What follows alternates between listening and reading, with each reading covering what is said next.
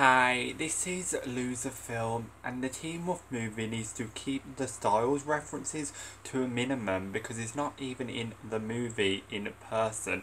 So why on earth are you going to waste time trying to reference a character that doesn't play an important role in the movie itself? I don't care how important the character was in the Teen Wolf show.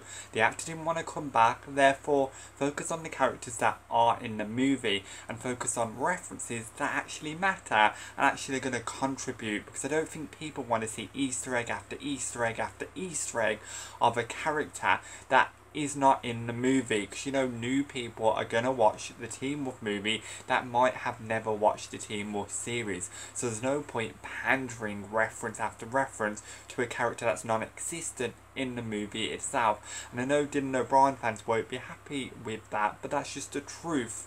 It's just a waste of materials and a waste of time on something that's really irrelevant if Dylan O'Brien wanted to be in the Teen Wolf movie, he should have been in the Teen Wolf movie. I know people want to make excuse after excuse after excuse for why Dylan O'Brien's not there. He's too busy for it, blah blah this and blah blah that.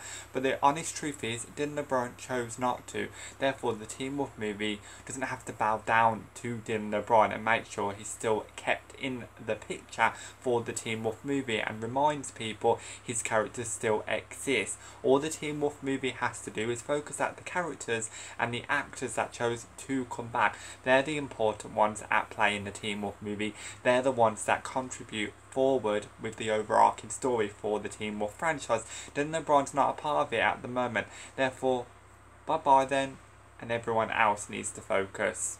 But then again, Jeff Davis, I feel like, is going to really kiss Dylan O'Brien's ass and have reference after reference in this Teen Wolf movie. I wouldn't be surprised if they mention the name Stiles a lot one after the other, which is going to be very irritating and get really annoying for some people. I definitely will be annoyed if they keep mentioning a character that's not even in the movie itself. So I love to hear your comments below on what you think about Dylan O'Brien Stiles references in the Teen Wolf movie should be kept to a minimum because his character is not in the movie. So why waste time or waste any kind of effort on that character when there's other actors in the movie that did come back as their characters that need to focus on and not take away from the overarching story of the movie, which referencing constantly the Stiles character would do.